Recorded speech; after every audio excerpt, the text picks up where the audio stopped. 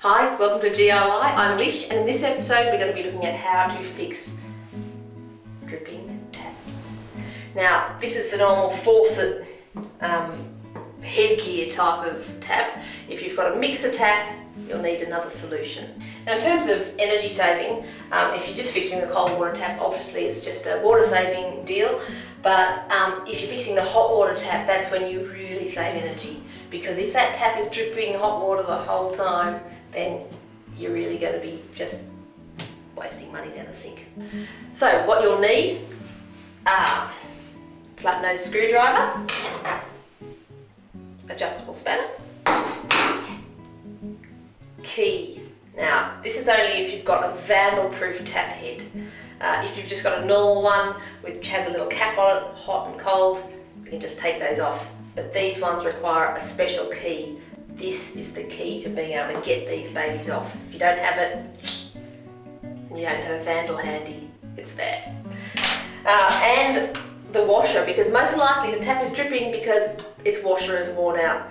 Um, so these are really good. Get a good quality one so you don't have to do the job uh, in a couple of months time.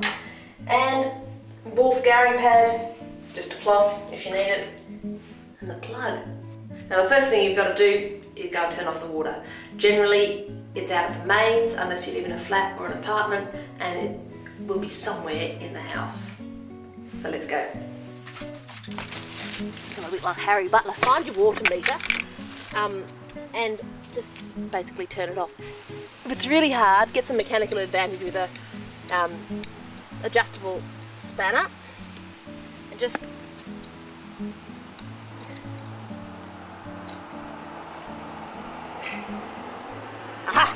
Done. That's off. Now the first thing you want to do is put the plug in the uh, sink because the last thing you want to be doing is uh, having to get some little part out of the S-bend. Now, get all the water out of the, yeah? And it's good to turn them right on. Take your key and if it's a vandal proof tap like this one, you'll find a little slot underneath the tap. Put the key into that slot and then turn it anti-clockwise. Just keep on loosening it out. Up, there we go. It's just come off. Then tap head just comes off. And there's a little thing in there. Take that off. Keep them all in a nice spot to the side. Then remove the bonnet to reveal the grime and the workings of the tap. Um, this is called the spindle and under there is where we'll need to uh, replace the washer. Let's go. Um, this is where we need our adjustable spanner, what I call the buxom wrench. And everyone needs a buxom wrench in their life. Now we just put that on and then we want to unscrew that. Now they can be quite stiff. Just go.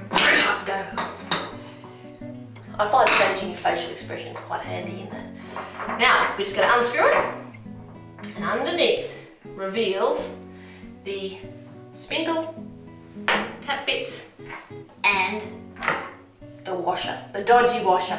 It's just run its time. There's no way that thing is going to seal. Basically what happens is when you screw the tap down, that pushes down inside the tap and causes a seal if it's all corroded away or um, rotted away, it's no good anymore. Um, so you just need your new washer, which you're going to pop in there and start again. But before you put your new washer in, just check the tap seat. That's just underneath here in the tap.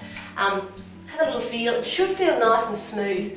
If it doesn't, if it feels like there's little ruts and um, jaggedy edges, that will be causing your tap to drip just as likely as a dodgy washer. So you'll need another solution for that. Watch the GIY video on how to reseat a tap. Yeah.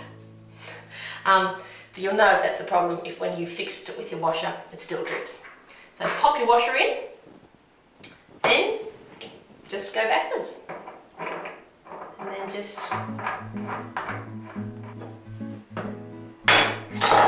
always remember to tighten Righty tighty.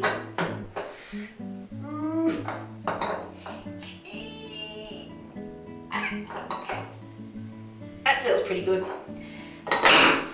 Then I'm just going to screw the bonnet back on. Then put, a, put it all back together. It'll just slot into place.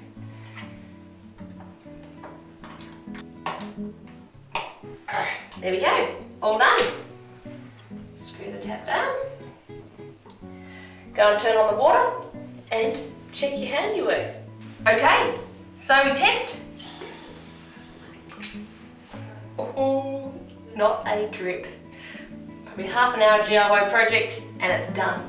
Now if you are still with a bit of a drip, um, tap wise, um, you will have to do a reseating of down here. Now that means that you'll have to get this reseating tool and watch the DIY episode on how to do it. But if it's dripless, then job well done. Thanks for watching this DIY episode. There is more shopping lists, more projects online, um, fact sheets, check it out and pass on the word.